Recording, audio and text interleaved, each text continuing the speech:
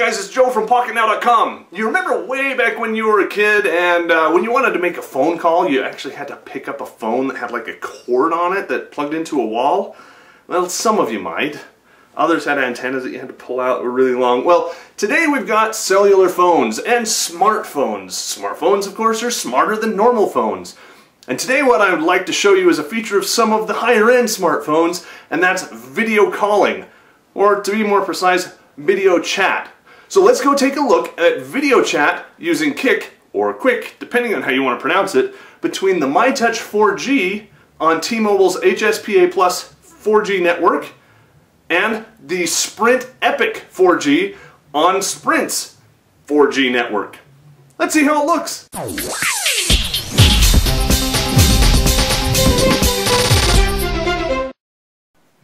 Alright, so over here we have the T-Mobile MyTouch 4G connected to their HSPA Plus network, which should get me near 4G speeds. They haven't deployed it fully in my location, so we're just going to have to uh, to trust that it's a little bit better if you're in a more populated area where they've done a full rollout of 4G.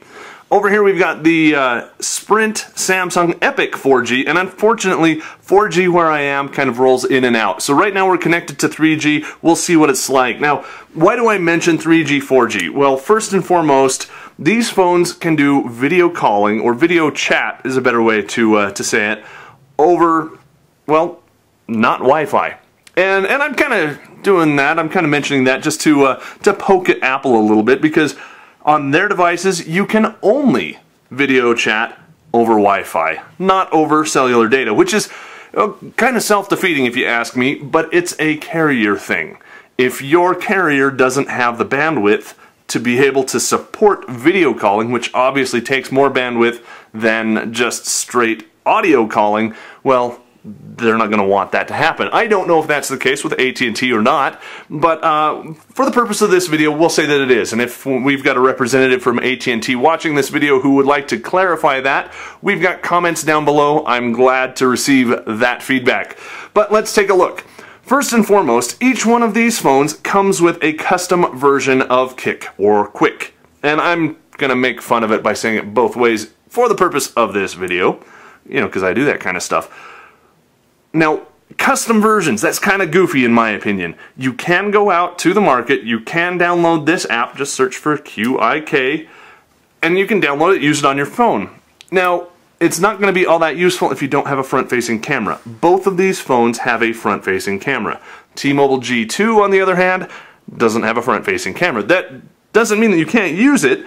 It just means that when you're looking at the person you're talking to on the screen, they're going to be looking at whatever is on the back side of your phone. In this case, this nice high-density polyethylene tabletop. Uh, if you're walking down the street, they're going to be looking at the person's back or head or whatever is walking in front of you. So keep that in mind. That's not all that this can do. Of course, you can do video chat. You can also record and share your life as it happens. Now, I've mentioned this app particularly in the past.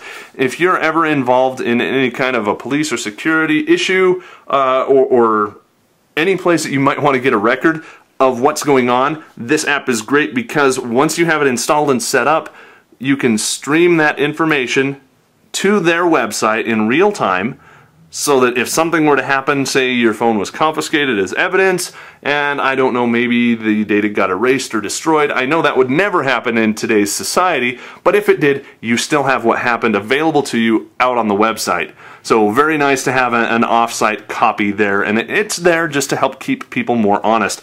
Don't use this in any way, shape, or form that might be illegal or inappropriate or unethical. There's my disclaimer, alright? Next is you've got video mail or messages, which are basically the same thing. It's a voicemail with video on it. Doesn't get much simpler than that. And then, of course, my videos and video gallery, which again, same thing. It's what you've already recorded, so you can watch it later, stream back down to your phone, or played from the local copy. But we're not interested in any of that. What we're interested in is video chat. Now, back to what I said. These are both custom versions of the app. What's unfortunate is when I went out to the market to update these apps, there were updates for both of them. When I updated the Qik app for the Sprint Samsung Epic 4G, it broke. I don't know what else to say. It force closes every time you try and record a video. So, uh, update fail. Luckily, I was able to uninstall the updates and go back to the version that came pre-installed on the phone, and everything was working again. So there was an hour or so of my life in troubleshooting that I hope the guys at Qik are listening to and will fix. Over here on the MyTouch 4G, the version that came on the phone I never got to test because it came up and said, hey, there's an update. The update just happens to work. So, okay, enough with the blabber, let's get right to the videos. Alright, in a previous video, I showed you a little bit about, uh, or I talked a little bit about how this was probably one of the most frustrating apps that I have ever, ever, ever used, and I have spent literally hours and hours trying to get this to work.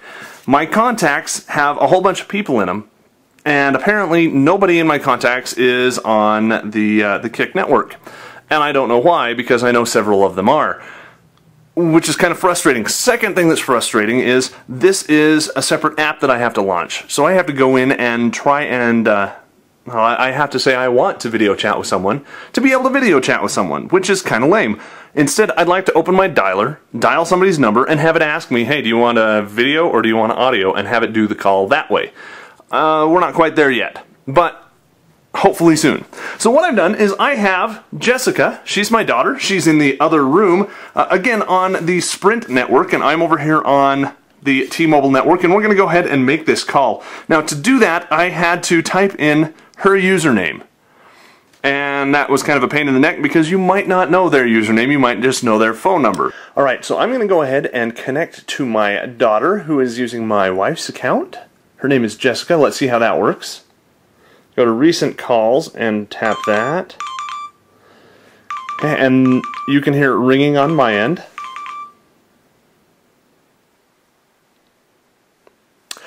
And there it is. You can see me and the camera up in the upper left. And Jessica, can you hear me? Yes, I can hear you. Now, here's the funny thing that Jessica and I just learned. On the MyTouch 4G, it automatically broadcasts video and audio over to the receiving end. Is that right, Jessica? Yes, I am receiving. Okay. Now the funny thing is, over on the uh, the Epic 4G version of uh, of the same app, it's still it's still Qik or Quick or however you pronounce it. You have to press and hold this little button See that button down there in the corner? Which looks a little bit different. It, it says talk on it. And if you want to talk to the other person on the other side using the Epic 4G, you have to press and hold that and release it, just like a walkie-talkie, which is kind of goofy. So, Jessica, I'm I'm noticing. Uh, can you hold the camera back a little bit more so we can see you and you know maybe smile a little bit? See, there you go. Now, how old are you, Jessica? I am almost set. Jessica is almost 10 years old, everybody. So, uh, you know, really nice girl. Make sure you're nice in the comments. Um, what do you think about video calling? Is is this something that's going to replace, say, you know, picking up a phone and, and calling your friends?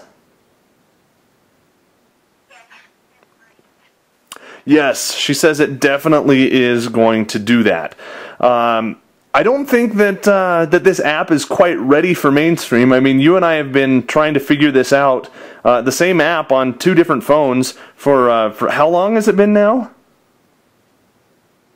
Probably 30 minutes. So we've been working for half an hour to try and get this phone to connect to your phone, and uh, you and I have been practicing in the same room together, so kind of difficult.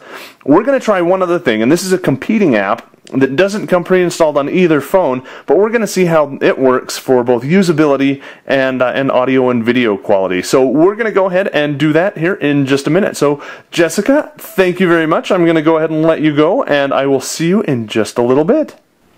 Alright, so let's try with another video calling app. In this case, it is Fring. I don't really like their interface. It, it looks not complete. I've complained about that before, but you know, it's kind of uh, kind of unique and novel. In this case, we can do a text talk, which is like instant messaging, a phone call, which is VoIP, and then a video chat. So we'll go ahead and do video.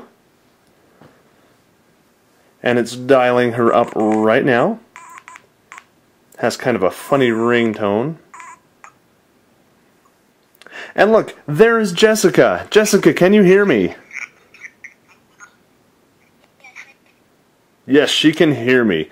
Now this is over HSPA Plus on my end, but uh, the the Sprint 4G on her end just isn't working right. So it's just 3G. Now you'll notice over here I've got a little uh, kind of a white window. Now Jessica, can you see me?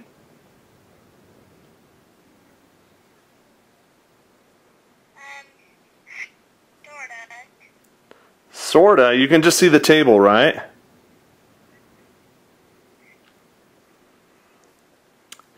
So that's unfortunate. What uh, what Fring has is they've got a platform that kind of works. I mean, it dials, it connects, it, it behaves just like you'd expect it to. But the MyTouch 4G isn't supported yet, so the front-facing camera doesn't work.